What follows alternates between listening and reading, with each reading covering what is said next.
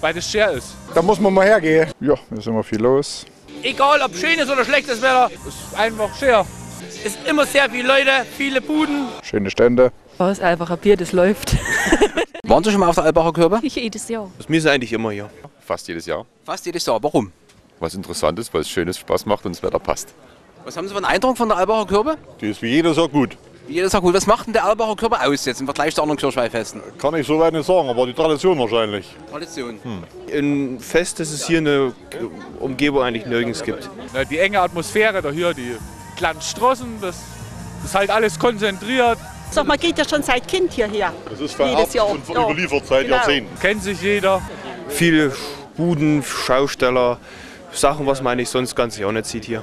Äh, Die Albacher Kirche macht eigentlich legendär, dass da Albacher Schausteller da sind halt, also nicht bloß auswärtige Leute und die sich dann halt hier äh, den ganzen Nachmittag, Samstag und Sonntag so miteinander die Leute belustigen und äh, halt dem Volke was kundgeben. Und nicht bloß also mit Getränken und, und Essen, sondern halt äh, die Stimmung von der Erlbacher Kirche den Leuten irgendwo darbringen wollen. Soweit die Meinung der Erlbacher bzw. der Oberländer, die zugegeben eventuell vielleicht aus lokalpatriotischen Gründen, na Sie wissen schon.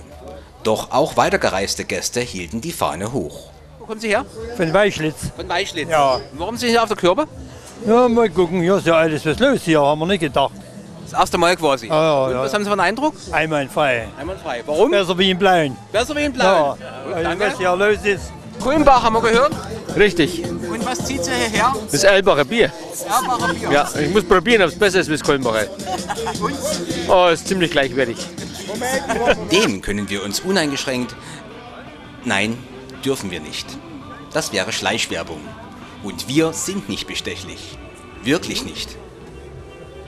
Was ist das für Ofen? Was gibt's hier? Also pass auf, das ist ein Flammkuchenofen. Der Flammkuchen, der kommt eigentlich aus dem Elsass, aus dem Französischen. Das ist ein arme Leute-Essen. Wir haben uns den einmal vor ein paar Jahren äh, von jemand selber bauen lassen. Das ist ein Eigenbau. Also das ist praktisch eine Holzfeuerung. Das können wir da gerne mal zeigen. Die Holzfeuerung. Und oben drüber äh, ist eine Steinplatte und da wird der Flammkuchen obendrauf ganz kurz rausgebacken. Der Flammkuchen ist ein Sauerteig, also ein Brotteig. Äh, der wird äh, belegt mit Schmand, Zwiebelstücken und äh, rohen Schinken, geräucherten rohen Schinken.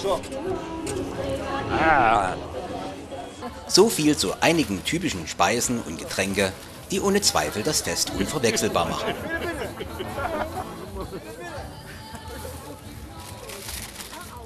Doch die Erbacher Kirche hat noch ein besonderes Markenzeichen.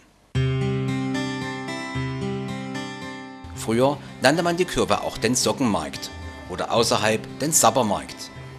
Sabber, gemeint sind damit landläufig Hausschuhe. Albach wurde 1563 das Marktrecht zugesprochen. Anfangs gab es zwei Märkte, im Frühjahr und im Herbst.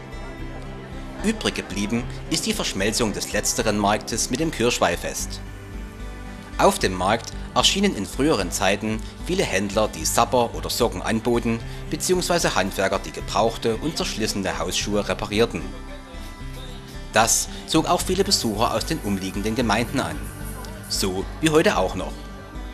Freilich hatte so ein Fest in früheren Zeiten einen ganz anderen Stellenwert. Die Welt war kleiner, die Menschen ärmer und sicher auch ein wenig bescheidener. Gefeiert wurde deshalb umso intensiver. Das Feiern haben die Erlbacher und ihre Gäste nicht verlernt. Und zweifelsohne hat das Kirchweihfest in der Gemeinde seinen besonderen Reiz. Das beweisen allein schon jedes Jahr die Besucherzahlen. Was es nun ganz genau ist, was die Erlbacher Kirche so besonders macht, sollte jeder für sich herausfinden.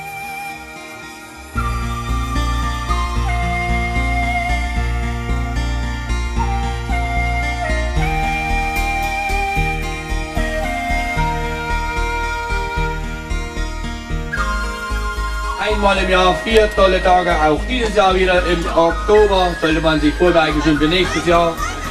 Es geht hier los mit Musik, zu essen, zu trinken, alles was das Herz begehrt.